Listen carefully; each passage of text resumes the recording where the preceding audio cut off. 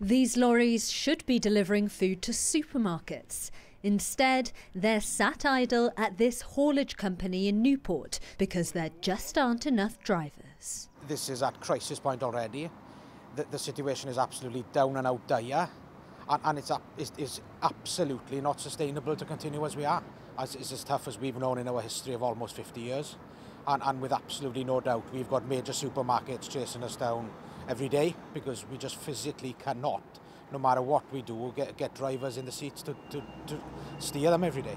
It's been blamed on post Brexit immigration controls and a backlog of HGV tests after the pandemic. With so many hoops for drivers to jump through, the problem's starting to show up on supermarket shelves.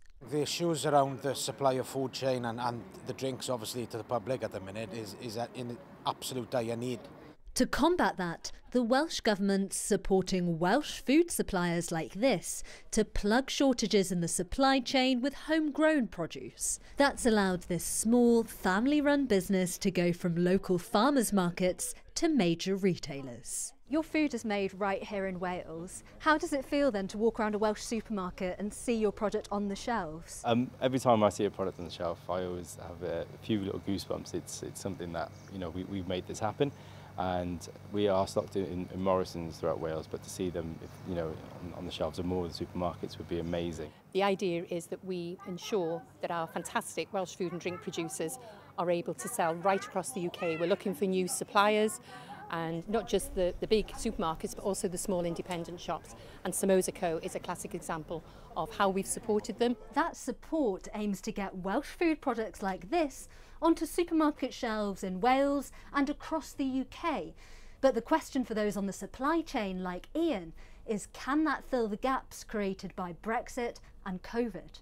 While the Welsh Government can help brands like this secure deals with supermarkets, they still need drivers to get the food to the public. So we don't have many levers. It is the UK government that hold the major levers. So for instance, the HGV tests, the backlog that obviously is, is due to the pandemic, that is an issue that the UK government lead on. But I'm very happy uh, to support where I can. As I say, I will be having a meeting uh, later on this evening with the DEFRA Secretary of State. And what are you hoping to hear? Well, what I'm hoping to hear is that they've got a plan, one, to deal with the backlog and two, to ensure that we are able to have overseas drivers. Brexit's had a, an impact on the number of EU nationals that have been able to move freely. We saw it last year with people not coming uh, to our farms in Wales to, to help with the picking season, for instance. And unfortunately, we're seeing it with drivers this year. The UK government has promised to work with industry leaders to attract new drivers, keep them in the job, and simplify training. They say they understand the challenges faced by drivers and operators and that this government is here to help. That help will be necessary to get trucks out of the depot and back on the roads delivering Welsh produce. Charanpreet Khaira, ITV News.